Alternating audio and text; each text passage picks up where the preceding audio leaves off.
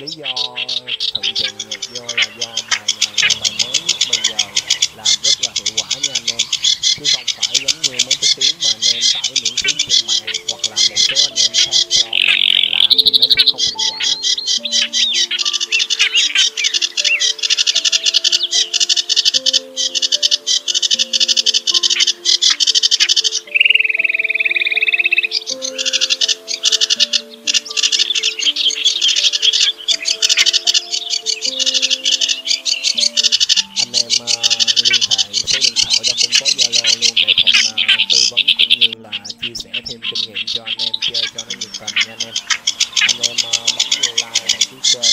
góp ý anh em đồng thời chia sẻ lên ờ, Zalo và Facebook cho mọi người biết đến ờ, uh, thuận với nha anh em ơi cảm ơn anh em rất nhiều.